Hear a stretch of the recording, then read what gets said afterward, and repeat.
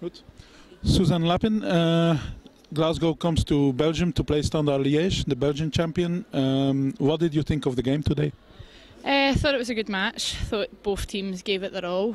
Um, good open game. Um, good chances created by both, and um, yeah, we're just disappointed in a way with uh, the draw, but um, got next week, so looking forward to that. Disappointed with the draw, but you scored two goals tonight. Yeah, yeah we, we scored two goals, um, but um, we know we can play a lot better and pass the ball a lot better. Um, but as you say, yeah, two goals away from home, so um, got to be pleased with that. Will those goals be decisive, you think? Um, I think it's always important to score when you're away from home in Europe. Um, that's kind of crucial when you come to an away game. Um, but next week it's it's all even in the tie, so um, I think it's down to next week more than this week, to be honest. Okay, then with uh, Scotland, you people uh, were almost in uh, the Euro. Uh, how is the World Cup qualifying going?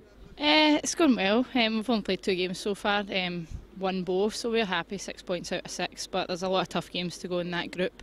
Um, but we'll just keep working hard and pushing on, and hopefully this time we can make it.